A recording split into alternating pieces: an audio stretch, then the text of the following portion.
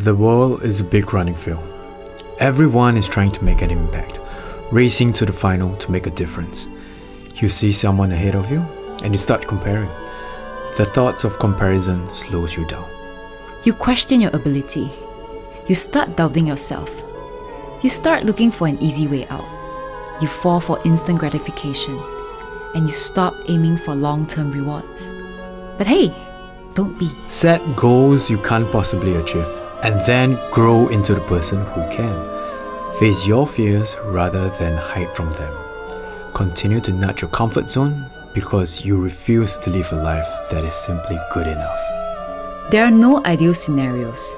There is only the present now that unfolds right before you.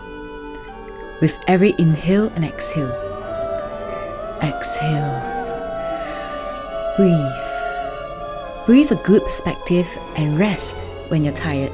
But don't quit. Don't. Just keep going. Everything worth having takes time. So have faith. You're on the right path. Keep running. A lot more work along the way.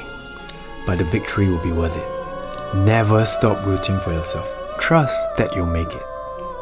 You have made too many sacrifices before, and you will have to do more. The reward is at the end waiting. And And this, this, this, is, is only, only the the beginning. beginning.